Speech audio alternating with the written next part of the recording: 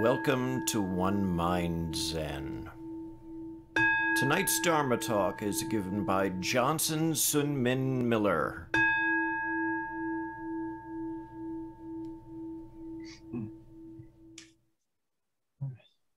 Howdy, friends.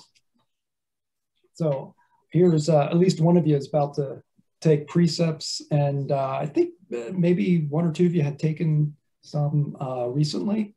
I'm not sure about that.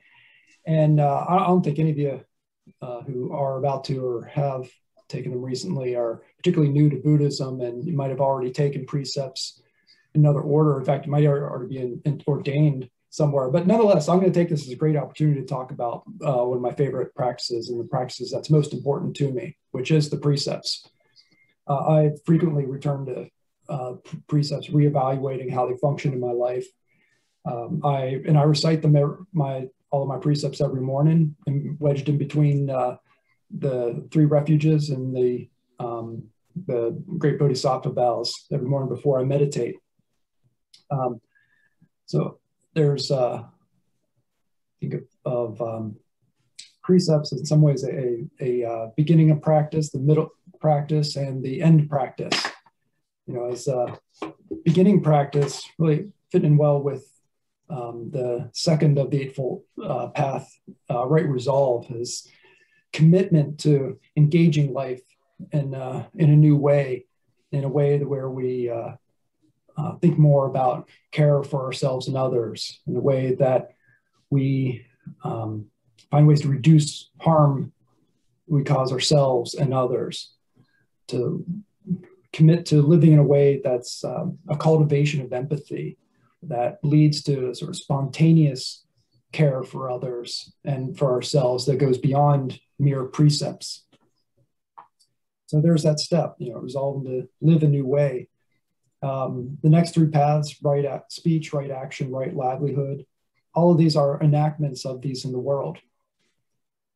Um, and I think it's quite wise of, uh, of, you know, of Wonji and, and lots of modern teachers and orders to expand the uh, more traditional uh, precepts to being more than simply prescriptions.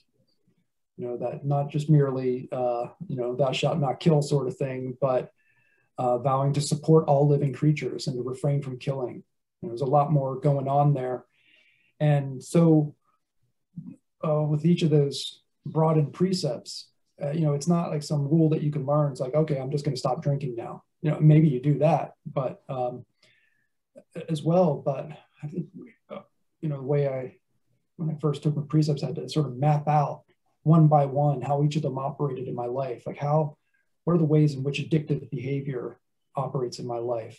The ways in which um, those, or the ways in which intoxication operates in my life, the way that it affects, harms me or, or affects others, or, you know, not, you know, you know, who have I killed lately, but more, you know, what are the ways in which I, you know, in the world thoughtlessly contribute to the harm, including even the killing of others. And so thinking about things like, well, you know, what am I, how often do I drive a car? You know, what are all the ways that I'm pumping CO2 into the atmosphere? You know, the less I do that, the more I am uh, supporting all living beings. Um, you know, do I need to figure out the ways in which I you know, participate in you know, harming others through, um, you know, misogyny or white supremacy? What are the ways that I participate in that? And then how do I, you know, stop doing that? How do I stop harming people and or and, and living beings and start supporting them and you know in a much broader way? And all this leads us away from mere you know it's not just right speech right action right livelihood but it's also right mindfulness because then it um, you know, if it's, you know, if you, okay, if you're going to go out in the yard and chop off the chicken's head to eat, to eat the chicken, you know, when you're about to kill that thing, right? But it gets a lot harder when think about, you know, the broader effects that we have, especially through the interconnectedness of, uh, of industrial societies, um, you know, where our cravings and our, or just our mindless, you know, our samskara, or, you know, mindless habits and so forth, the ways that those can cover up our awareness of the things that we're doing that are you know, creating harm for others and failing to support all living creatures. Um, and so it's precepts are also this constant practice of mindfulness, you know, that you can't, you know, if we're living on autopilot, um, according to our samskara, um, you know, we're, we're just going to be missing all those thousands of opportunities throughout the day to, um, to engage our precepts. You know, so they're a 24 hour a day practice. Um, and I find myself returning to them frequently. You know, I think that if you, you know, you get a new job or, you know, have a child, um, or you're, you know, um, when your, your older parents moves in with you, uh, you move to a new house. There's so many things that could really disrupt your, your uh, general pattern of life.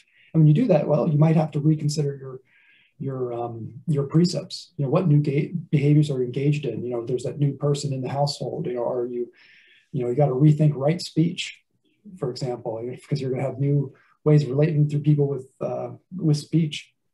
Um, and so we've got to constantly reevaluate the precepts as our, our uh, there's changes in our lives. And it's not just that. You know, you can't do it all at once. There's all these different layers to it, and so. Um, you know, you might, you know, take the precepts the first time, sort of map out one by one how they each operate in your life, and you start changing behaviors, you know, eliminating some patterns and starting to build up new ones, new, uh, more, more skillful patterns.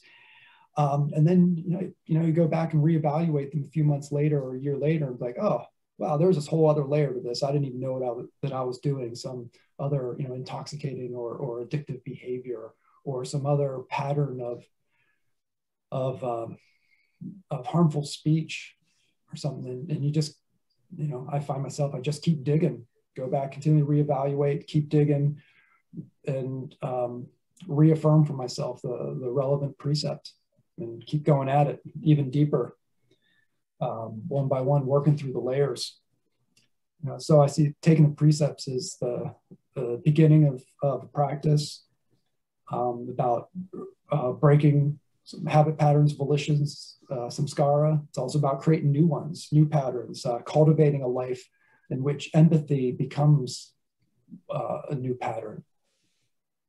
Um, that um, instinctual or, or, spontaneous way of living that uh, to reduce harm and to, and to care for others.